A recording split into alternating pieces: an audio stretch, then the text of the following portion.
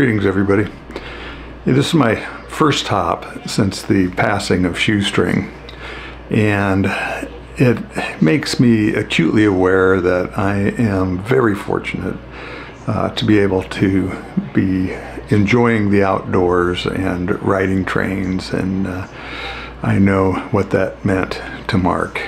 Uh, I'm concerned a bit, though, that his passing sort of marks a flaw, highlights a flaw in our inability as a country to come together and figure out some way to make health care uh, and mental health care uh, easy, inexpensive, and available to all.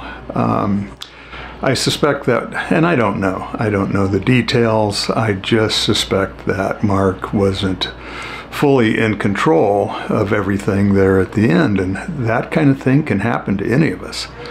And the ability to get that taken care of uh, isn't always easy.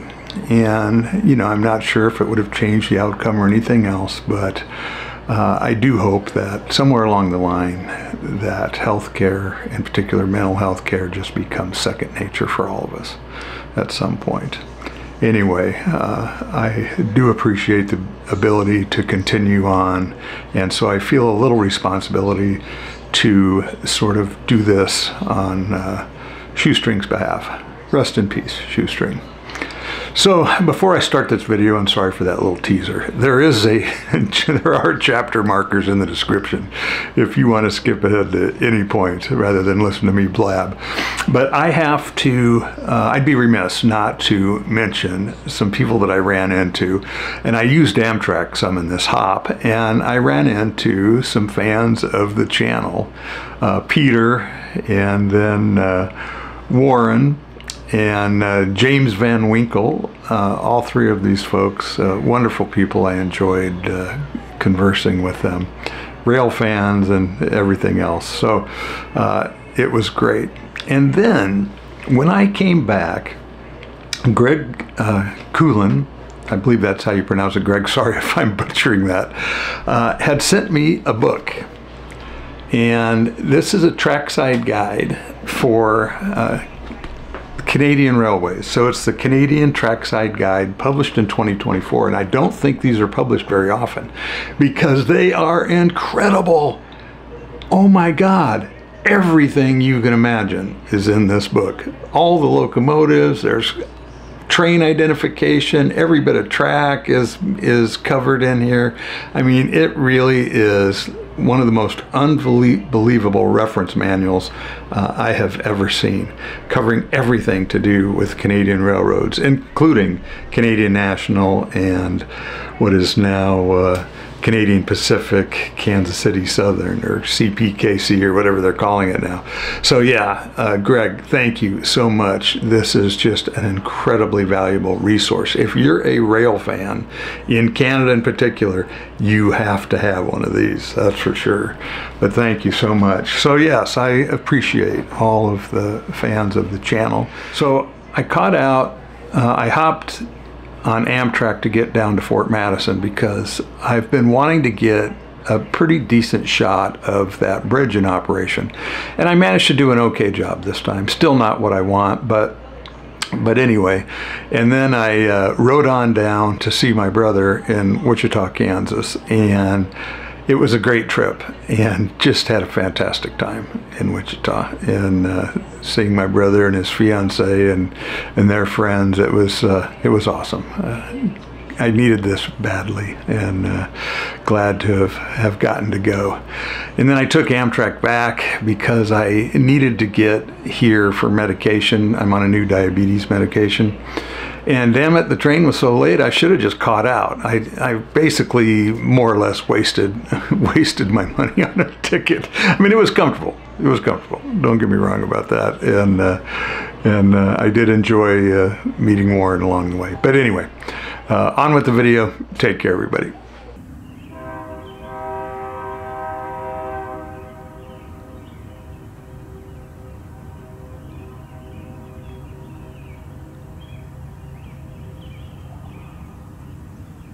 Oh, my campsite last night.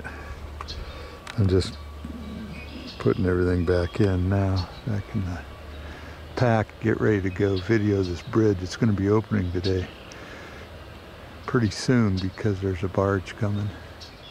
Let's hurry up and wait with barges and bridges as well as trains. This double stack just pulled in and stopped for a crew change. It's headed the direction I'd want to go and if I were in a hurry I'd be on it. But I really want a Z train. These things uh, headed uh, west, south and west, end up occasionally stopping and working Gardner, Kansas intermodal facility. I don't want any part of that. Trees are budding out here, so it's been nice apparently. Helicopter's ready to go. Those are always fun when you're a kid. You know, somebody seems to have lost their bedroll along here. Still rolled up. That's unfortunate. Be a shock to arrive at your destination without it, or worse yet, have to need it in the middle of the night. Passenger 45, freight 40. It's kind of cool how the Santa Fe incorporated their logos into their buildings over the years.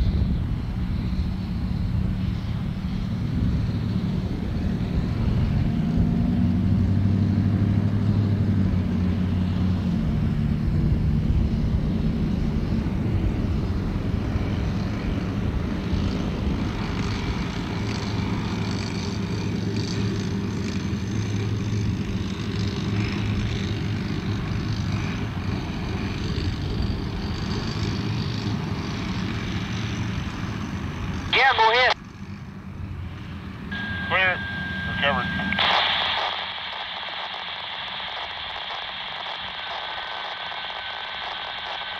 Back to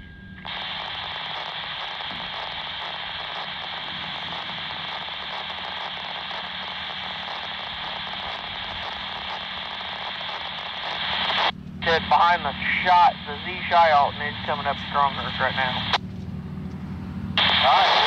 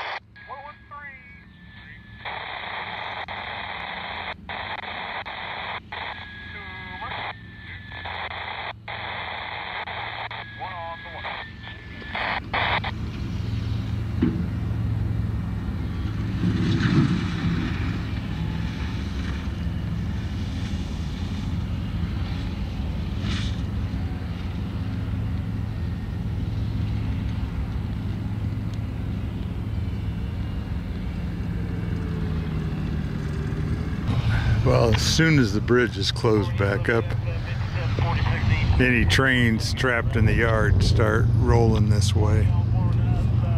And uh, so there's usually a couple, couple trains ready to rock and roll.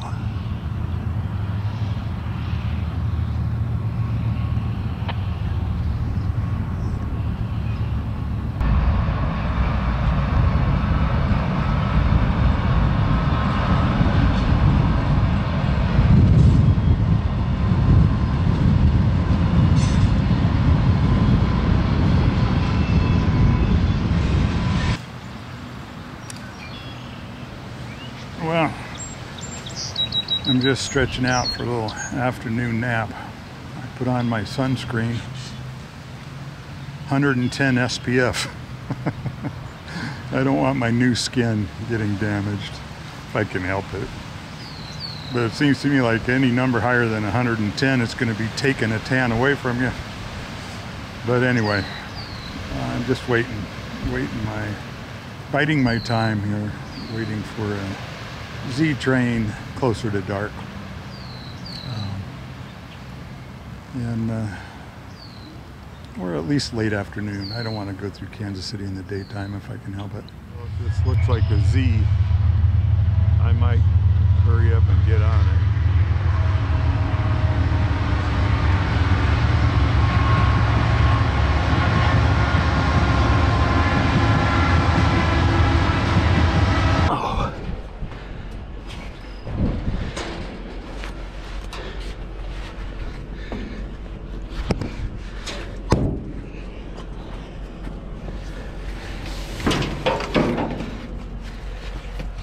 I am not in fucking shape. I didn't have time to throw my coveralls on. I'll get them on once we get out of town. Jesus, wasn't that far. This thing stopped right in front of me.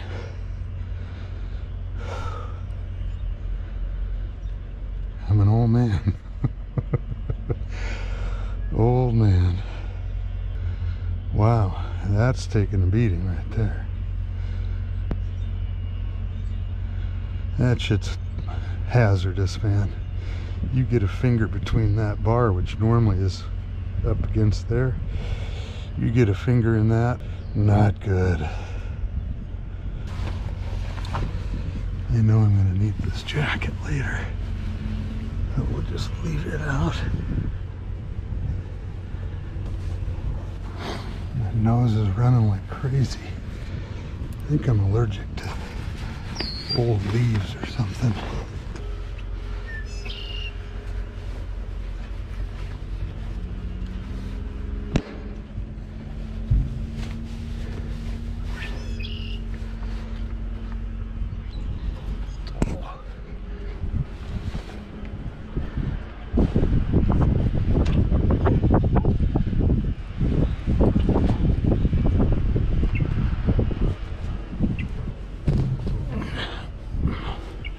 Ouch.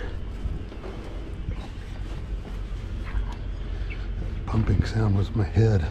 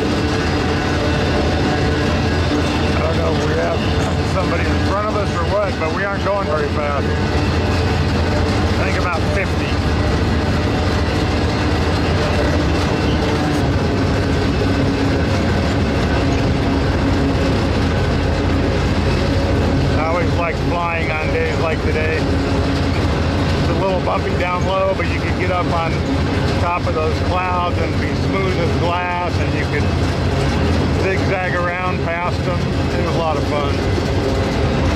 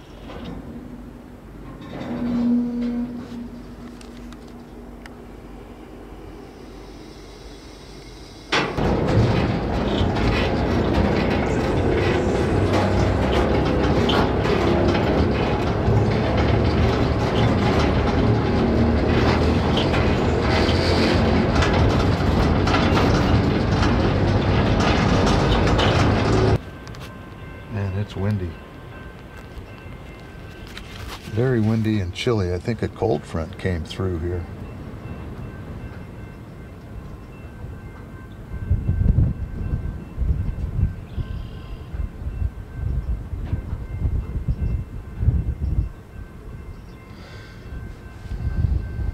Still inching our way to La Plata.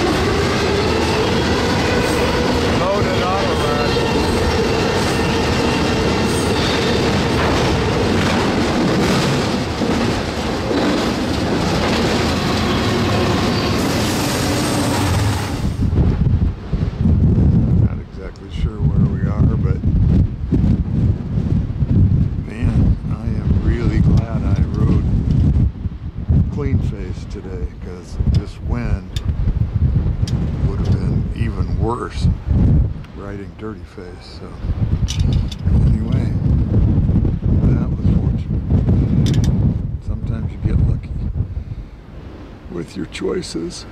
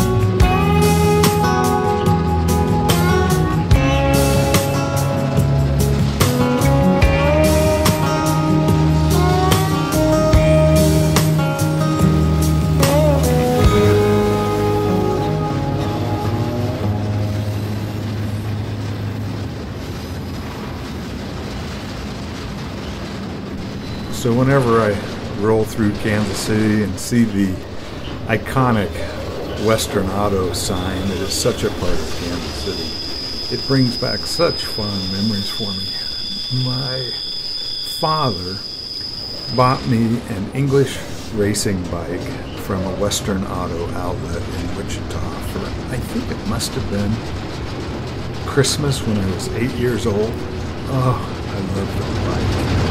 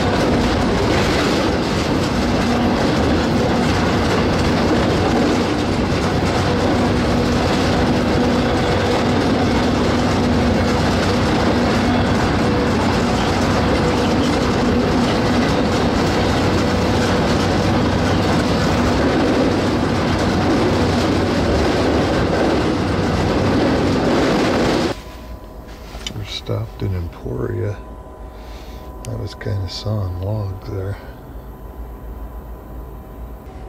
I could hear another train honking. It made me wonder if we're letting Amtrak pass us here, maybe.